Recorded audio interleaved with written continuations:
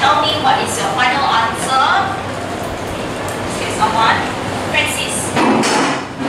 Evan. Let's go. What's your answer? Hi. Okay, so Evan says 4 over 3 or 2. We all get that? Okay, so let's check. Okay, I can have a seat. So we do our cross method. We have 3x squared plus 8 minus 10x. We have 3x and x. Okay, 4 and then after 2 here. In order to get negative 10x, it should be negative, negative, negative, negative. So our factorization will be 3x minus 4 and x minus 2. Such that we can say 3x minus 4 equals to 0 or x minus 2 equals to 0. So we get x equals to 4 over 3. Otherwise, x equals to 2. Okay? So that is the answer that we get from part I. Now I want for us to focus on part 2. Part 2 says hence. What do we say about hence when we say one? Okay, we must make use of the answer from the previous part. Okay, so we want to use the answer from the previous part to solve this equation 3y plus 1 bracket square minus 10y plus 1 plus 8. It may look a little bit more complicated, okay, but actually there is an easy way to get around it. If you are able to observe that this equation here is not that far, not so different from this equation here. If you want to match it, I have my 3 here, I have my negative 10. Okay, and I also have my positive 8. So what is the difference between the equation from part I and equation from part 2? Okay, our x and our y plus 1, they match up with each other. So to make use of our answer in part I, we need to let x in part I be y plus 1. Okay, so there is no need for us to go through the same set of, set of steps again. We are just going to make use of the answer that we have gotten. y plus 1 is equals to 4 over 3 now. Otherwise, y plus 1 equals to 2. Okay? And hence, my objective is to find y, not y plus 1 y will be equals to 4 over 3 minus 1. That's 1 third. Or y equals to 2 minus 1 and that's equals to 1.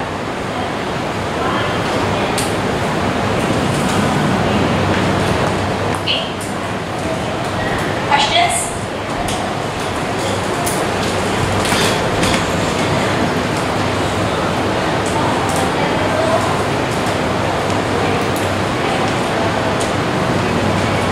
about matching and comparing.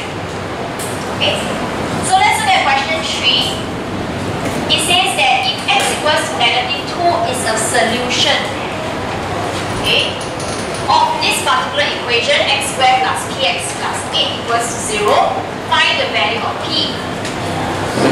what does it mean when we say that something is a solution?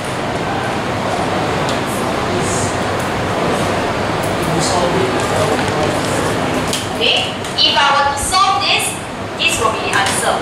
In other words, if I were to take x equals to negative 2 to put it inside here, okay, my expression on the left hand side, it should come out to be equals to 0. That is what it means. Okay? If I were to take this x equals to negative 2 to put inside here, it must be equals to 0. Just like how we can go about checking our answer from the questions over here. Okay, how do I know that x equals to 4 over 3 is going to be the answer? Likewise, how do I know that x equals to 2 is confirmed the answer? We have not yet done how do we go about doing the checking. Okay, I can be very certain that these are going to be my answers if I want to take x equals to 2 and place it into my original equation. Okay, so for example, I want to test and check. Uh, so 3 times 2 squared minus 10 times 2 plus 8 I have replaced all the x's with the value of 2. Press it in your calculator. I want all of us to do that.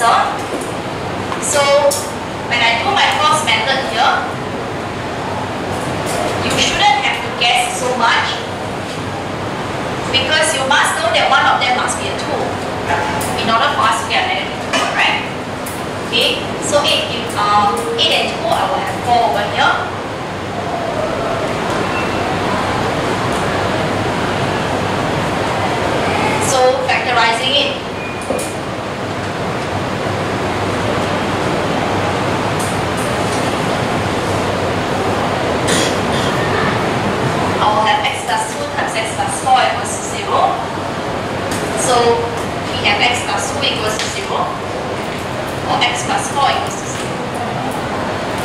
We know that this is not the one that will give me what I need because question 1 simplified the other solution.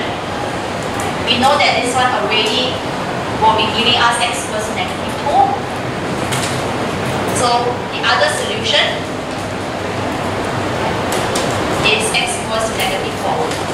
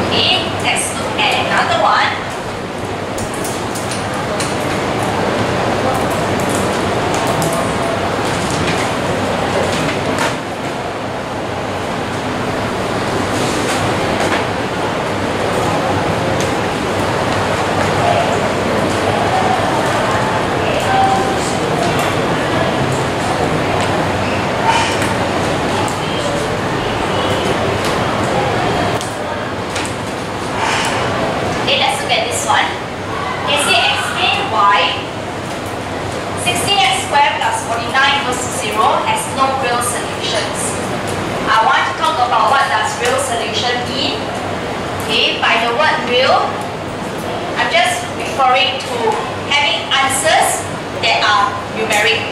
Okay, not just integers, uh, not just whole numbers, any number itself.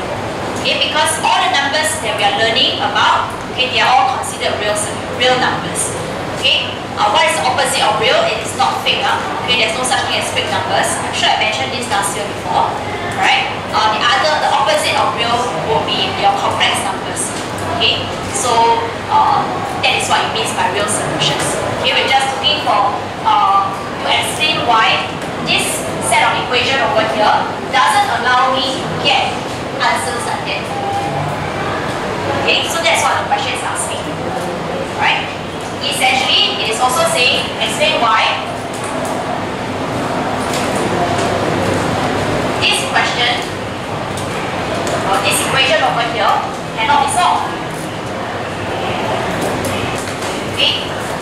In our current uh, level of thinking. Okay? This is what the question is asking. Explain why it cannot be solved. So actually the question is already telling you it cannot be solved. Okay, we need to figure out why. In case you're still thinking that it can be solved, then we need to look at how do we solve quadratic equations in the first place. Any quadratic equation, we say that we must factorize, correct? Can we factorize 16x squared plus 49? The square numbers. What is the formula about square numbers?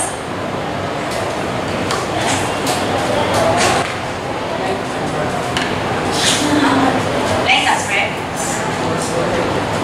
But you're talking about square numbers eh? Uh, I don't think you're answering the question. Perfect squares. Ah, okay. So you are saying it as 4x squared plus 7 squared. Like that. Can factorize it? What is our formula that we learned? The identities, right? We using this, huh? We have those three identities, correct? What were the identities? Okay, we have this one. We also have this. Yes. And then the last one we have is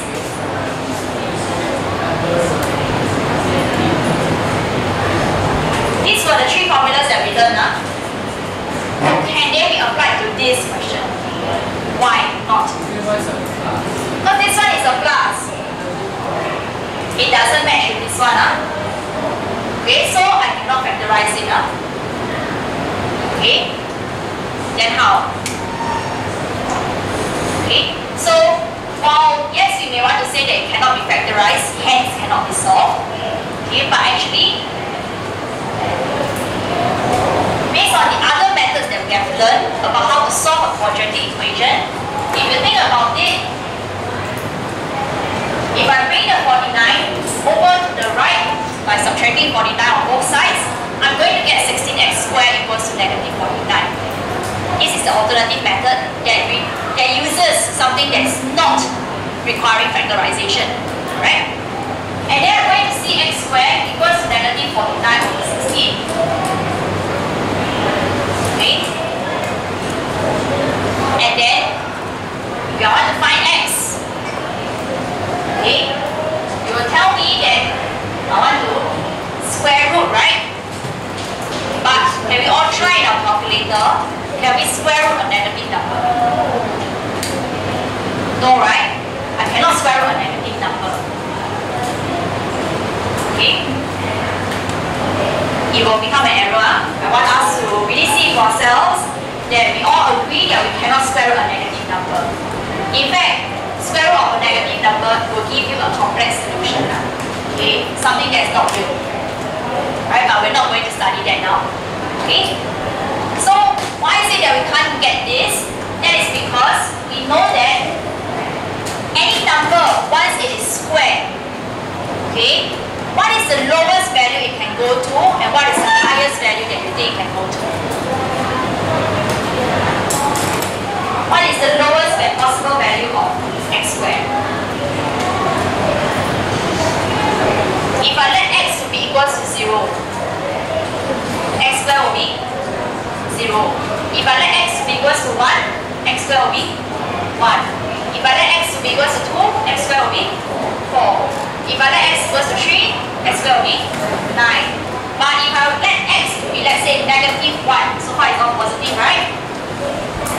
If I let x to become negative 1, what is x squared going to be? How do we understand x squared? x squared will mean that it must be 0 square, right? Give us 0. Okay? So, if I were to let x become negative 1, we are looking at negative 1 squared. And that will give us 1. If I let it be negative 2, what will x squared be? 4. And if I let x be negative 3, x squared will be negative 9. Is it? Yes, sorry, 9. Right? Okay? So from this observation over here, what can we say about x squared? The lowest number it can go to will be 0, right? Okay, even if I put 0 0.1, uh, okay, you can press the calculator, I also don't know what is 0 0.1 square. 0 0.01, uh. 0 0.01, yes. Okay, even if negative 0 0.1, okay, it will give you a 0.01 as well. Right? See and understand about the number x squared is that the lowest it can go to will be 0. It can go extremely large. Okay, it can go on forever. You put 1000 also can, 1 million also can, 9999 also can. Okay, it can go on to infinity, but the lowest it can go to will be 0. So what I'm trying to point out over here is that it can never become negative. Okay? I think we draw the conclusion that x squared can never be negative. There will never be a number that we can replace for the x in order to square it such that it can be negative. Okay, that's a very important concept. Huh? So, we will explain by saying that since x squared is more than or equals to 0 because the lowest it can go to is 0. It can go higher but never lower than 0. Okay?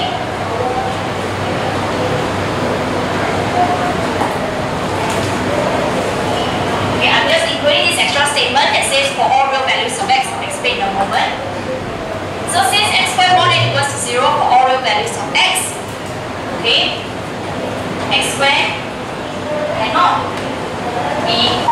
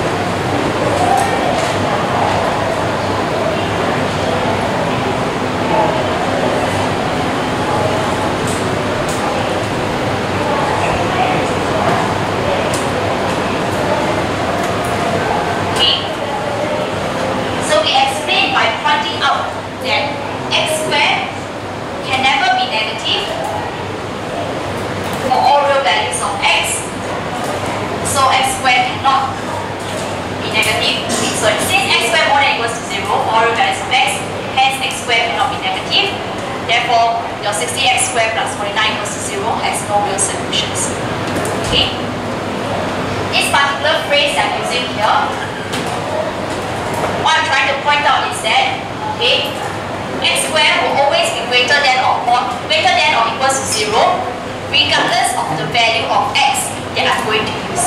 So whatever value of x that I'm using, your x squared, no matter what, will be a positive value. Okay, so this is what it means mathematically.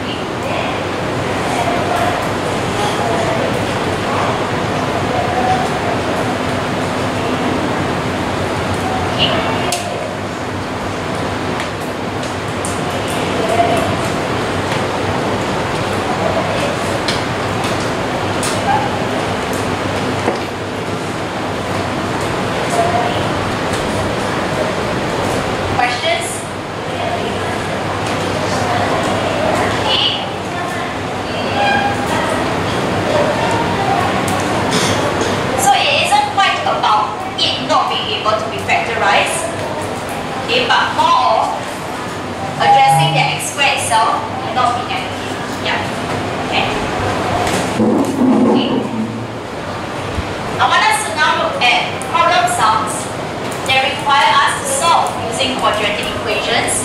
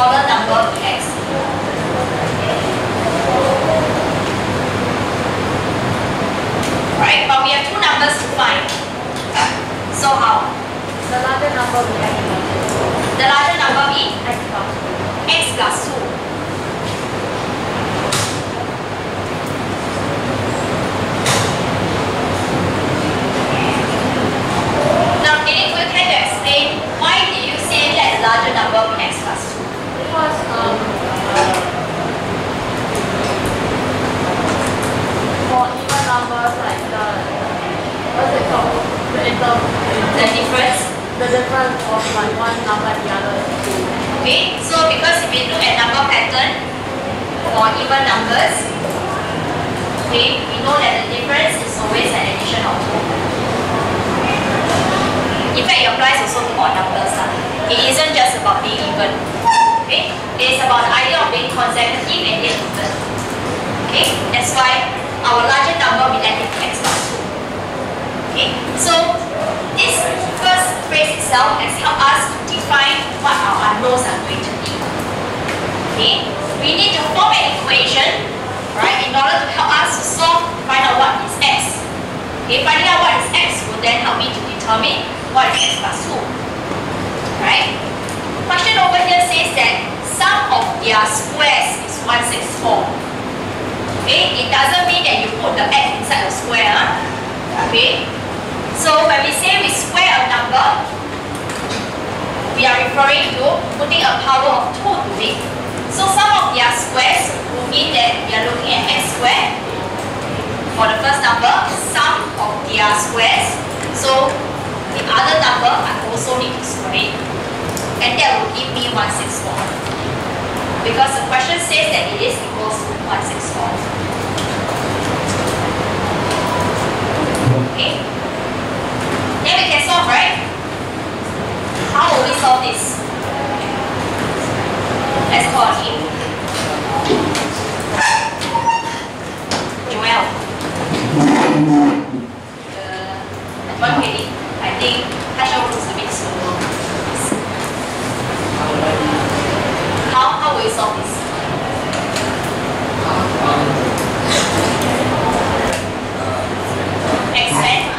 X plus 2 bracket square. Okay? Yeah. So I hope that you're all thinking about doing the expansion of this. So if I want to expand, how do I do that?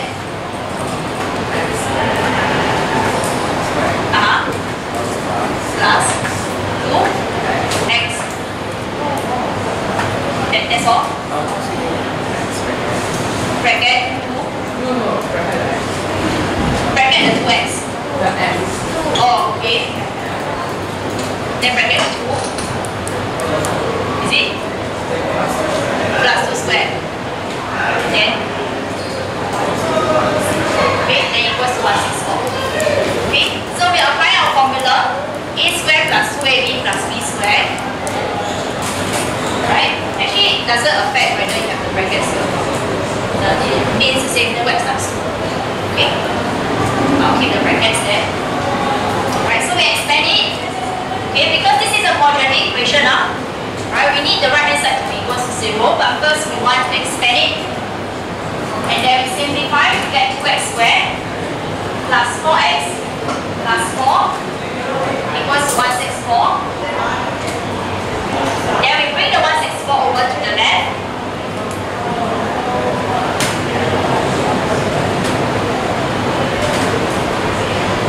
And hence 2x squared plus 4x minus 160 equals 0. Okay. Now with 160, can I get an agreement that 160 is challenging to deal with to do your factorization? Because there are many ways to multiply. Okay, there are many factors for 160. You can do 2 times 80, right? You can try until tomorrow, still haven't get an answer. Okay, a lot of numbers that we can get 160 with. Okay, so how can we actually simplify the question? Now remember just now we said that we can find equivalent equations, right? We observe that 2, 4 and 160 they are all divisible by 2. Alright? So I can actually divide by 2 on both sides of the equation. Okay? Such that 2 divided by 2 I'm going to get x squared. 4 divided by 2 I'm getting 2x. 160 divided by 2 I'll get 18. Although it didn't reduce 160 significantly, but having 80 will be easier for us to do our factorization.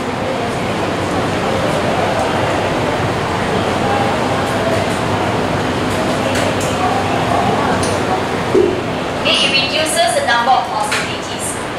So we focus on x squared minus 80 over here plus 2x over here. Then x times x gives us x squared. What will you want to choose for 80? 8 and 10. Okay? Which is a logical one because eventually I want to move, right?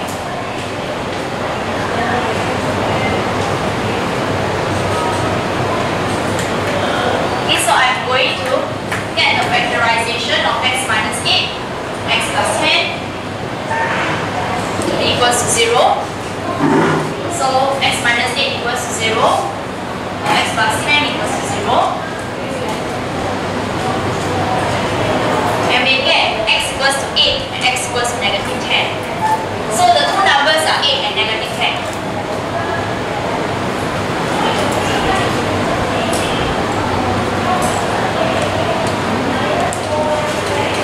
Are we right? What's wrong? Huh? Two numbers, uh, the question want me to find two numbers, but I found two numbers. They must be positive. So what? I this answer. Then what's my second number?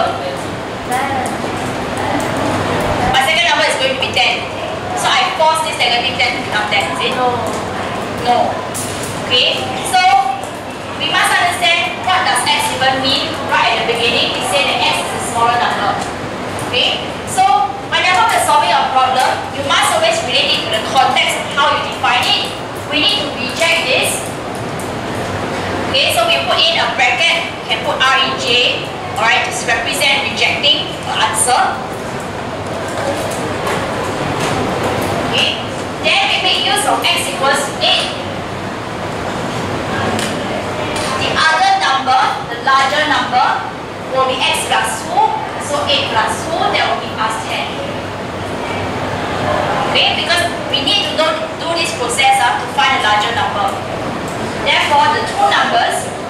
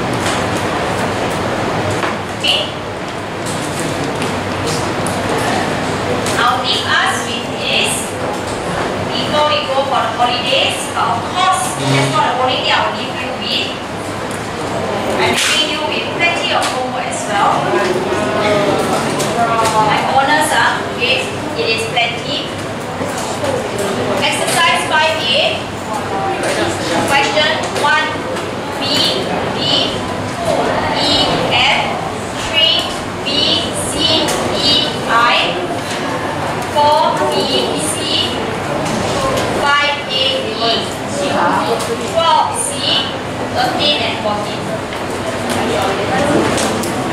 You went, you on the first math lesson when I see you again.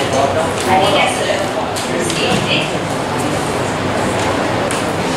Yes. Uh, yeah. What do you say?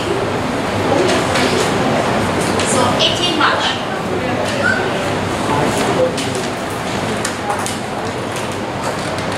Oh.